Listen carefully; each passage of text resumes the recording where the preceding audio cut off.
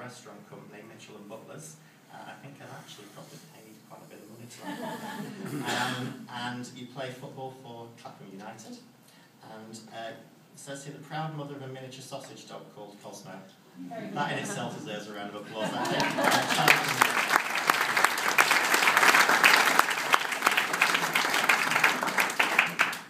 for. Um, I wish I had a picture of Cosmo now because he's really a joy to see.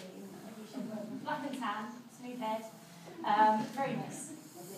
Um, so, um, thank you very much uh, for having me here tonight. Um, a really massive thank you to the cooperative um, who have put on a lovely spread. Um, lots of really subtle branding going on over here and here. I think there's a launch going on or, or something like that.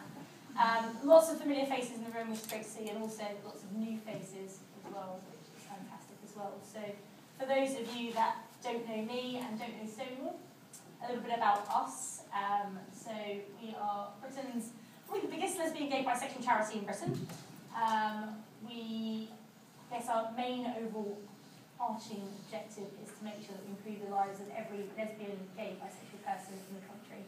That's 3.6 million people in Britain, and more recently our remit has extended to tackling homophobia worldwide as well. So back over in Blighty, the sunny shores of Blighty, um, our kind of main three strategic aims are at home, at work and at school. So uh, you probably haven't managed to avoid our support of equal marriage recently and some of the legislative landmark uh, achievements that we've got under our belt as well. Um, it's our involvement with schools, both primary and secondary school, and about teaching young people about being able to really celebrate difference uh, as well. And then in my team, uh, the workplace team, really kind of supporting Britain's employers to make sure that they can create workplaces where everyone feels able to be themselves um, as well. And it's a, a, pretty big year for us this year. Um, so we are celebrating our 10th birthday later on this year. I'm sure there will be some form of bubbles and nibbles for you all to come and enjoy at one point as well. So 10 years ago we launched our Diversity Champions programme and that was in response to, uh, for the very first time, gay people being legally afforded protection against discrimination in the workplace. 10 years ago. Um, seems pretty crazy that that was only 10 years ago, but here we are now. Um, and really kind of when you look at that legislative landscape back then as well, you know, only three years earlier had the repeal of gay people actually being able to serve in the military lifted. Um, we're in a very different climate, no civil partnerships, no Goods and Services Act to protect gay people from accessing things like hotels, bars, the rest of it. Um, certainly equal marriage seemed a million miles away back then um, as well. Uh, at the time when we launched the programme, we were working with 35 employers in the UK. We're now working with 620. Uh, so we've had a little bit of a, a growth spurt uh, in, the, in recent years, um, which is fantastic to see, just so many employers actually engage in wanting to support um, uh, lesbian, gay and bisexual staff, and also extending that out towards their customers as well.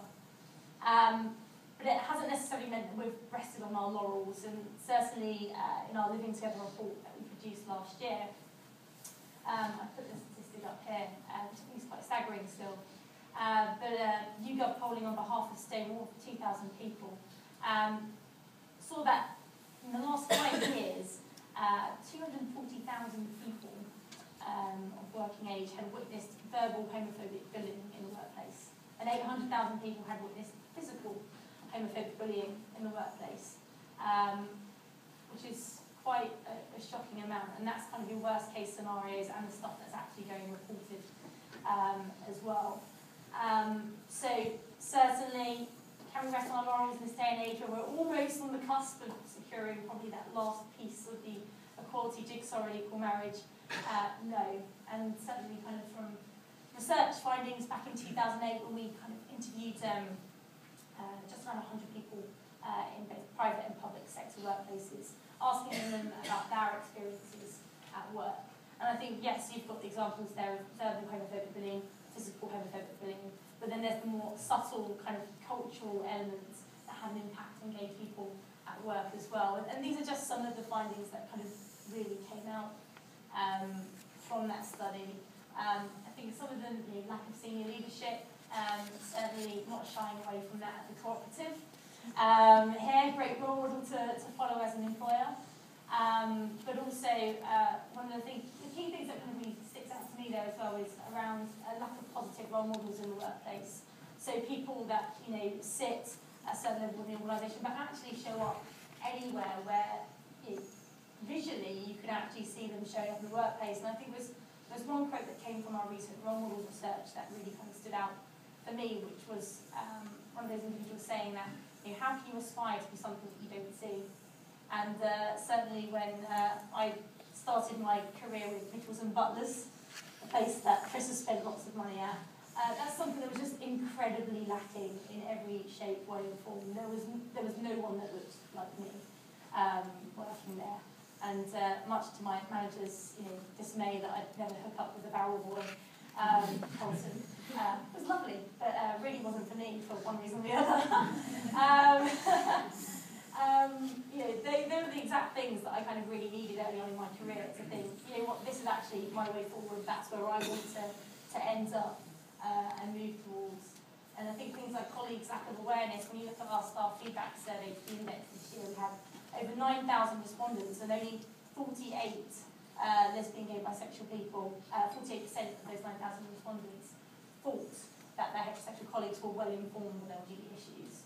So there's still this kind of marker that we have to overcome, and it's events like this tonight um, that aren't just shared internally with organisations, but I look at the number of you in here tonight on a bank holiday weekend that really help push the needle of change. Um, so really strongly encourage more of these to come forward and certainly kind of help us shift um, you know, where we are in, uh, in England today. Hopefully, uh, as a, you know, a nation, the UK, we can also influence other cultures around the world as well. Is it move? Yes. So um, I mentioned the really subtle marketing that was going on earlier on uh, today. Uh, it would be quite difficult for me to come here today as the client account lead on retail and consumer goods. Um, and uh, also just uh, from my previous life in retail as well, uh, to not avoid the topic of how well retail performs as a sector in our, our Workplace Equality Index and also within our Diversity Champions programme.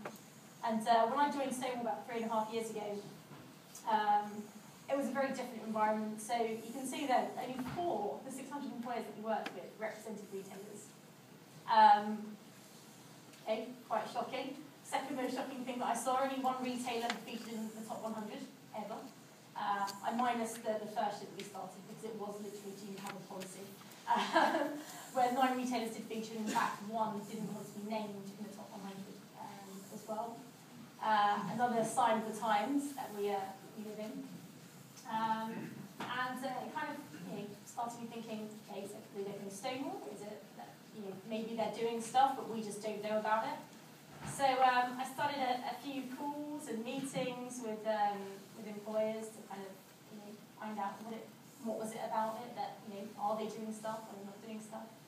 Um, I'd like to say that we've definitely moved on from a different place, and that three years down the line, uh, I don't quite get the same responses. I, I had some interesting conversations with people who said, "Oh, yeah, it sounds great, but we haven't got any gay people working here, so you know it's really not for us." it's interesting. You kind of employ thousands and thousands of staff.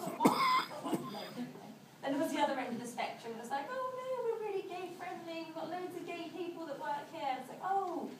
Do you monitor sexual orientation of your workforce then? No. How do you know? Oh, you know, you can spot on the mile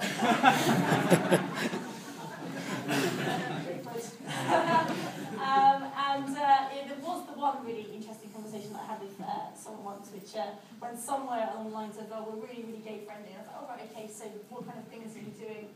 Well, what people can wear what they want to work. Um, with me, because I was also trying to follow this train of thought as well. And, uh, Like, all right, okay, so how, how exactly does that have an impact for, for gay people in the workplace then? And uh, well, you know, it means you can come, you, can come, I quote, you can come dressed as a gay, you can come dressed as a transgender. Uh, okay, yeah, I think tell you, kind of cut the corner and maybe kind of come back to them in a few years, uh, let them kind of pick up the pace by themselves. So, it, you know, it's really nice to see so many employers in the room tonight. It's really important, uh, you know, kind of encouraging to look at the stats behind me now, which you, know, you can see that we've trebled the number of employers that are working in retail to 12 out of 620. Still a way to go when you consider that the uh, retail industry employs 3 million people in the UK. So I'm pretty sure we're not quite there in terms of representative, and uh, that's why events like tonight can be really key. So hopefully you'll take messages back to your workplaces if you're not really working with us. Um, landmark year for the cooperative this year as well, being the first ever retailer to make it into our top 10 gay-friendly employers uh, in the UK, which, you know, Liz kind of mentioned this earlier on around, uh, you know, kind of not doing it as a result of a tick box exercise. There's not anything in the index that they do just because they want to get to this number three spot in our index. Um, for them, I think you can all see tonight that this is really just about a lot of hard work. Um, I think the right culture in the workplace as well, and really just kind of wanting to push and change, you know, beyond uh, beyond the workplace, as the event is uh, titled tonight. Um, it, it's taken a lot for them to get there, and I really hope that others uh, will start giving them some competition in the workplace. Probably they do as well. Um, Paul actually laid the gauntlet down about a year and a half ago for that as well um, which kind of leads very nicely on onto the next background to check out. Um, and uh, you know, I, I really can't say how excited I am. There's been a lot of times when I've been excited at Stoke in the last three and a half years. Um, but tonight, on the, on the way up and in the build-up, me and Thomas have been exchanging numerous emails. Uh, uh, a lot of kind of in the last week has moved to kind of it being almost like Christmas with seven more sleeps, five more sleeps, two more sleeps, one more sleep uh, on the sign off uh, to our emails, lots of Twitter activity. So, um, you know, uh, was mentioned earlier on, you have got hashtag checkout. Uh, there is the at checkout account, so do follow them. Uh, follow us at Stonewall UK as well. Um, the reason why I'm so excited about this is it's, it's a bit of a first. And when I looked at my retail sector and wanting to promote this kind of push forward, and then I was looking at, you know, my other colleagues who maybe looked after banking or law or health or housing. And I was like, you've got so much. What do I have? Um, and I looked at kind of what had been achieved through Interbank and Interlaw when they all kind of worked collaboratively as a sector. What what was the end result of that? Um, and they were both established because prior to that, that sectors were really poorly represented in our in our um, top 100 employers list and throughout our workplace equality index. So it was a major driver to work together, an opportunity to share best practice, um, an opportunity to widen the reach and support more gay people. Um, and I think, you know, in terms of the reach checkout, you know, already the followers on checkout are almost that of Interlaw and Interbank that have been established for years. Um, you know, I'm looking forward to the point that we absolutely supersede that. There should be hundreds of thousands of people, if you think about it in terms of statistics, 6% of our population estimated to be lesbian, gay or bisexual. Um, it works at around maybe 180,000 gay people that work in retail, so it would be nice to have all of them following us on, on Twitter and, and taking advantage. I'm not going to say too much more in case I do any spoilers later on, but certainly as Stonewall, you know, this is one of the most exciting things that uh, could have happened. And a year and a half ago, when we sat down in a room with a handful of retailers talking about could this work? Is it right for us? Um, to then having a focus group just across the road uh, back in February, um, uh, back in September last year, to now being where we are today is fantastic. I can only think of the number of people that we're going to be able to extend open arms out to, to, to support, to connect. Um, it, it's just kind of beyond anything that I could have ever wanted um, at Stonewall. So thank you to everyone that's been involved with that, in particular the cooperative who have just put just the most amount of energy, resource, time, everything into it. You've seen the, the diversity newsletters, the uh, checkout newsletters on some of the seats around there. You've seen the Twitter account. There's going to be plenty more opportunities like this, and thank you once again for having me.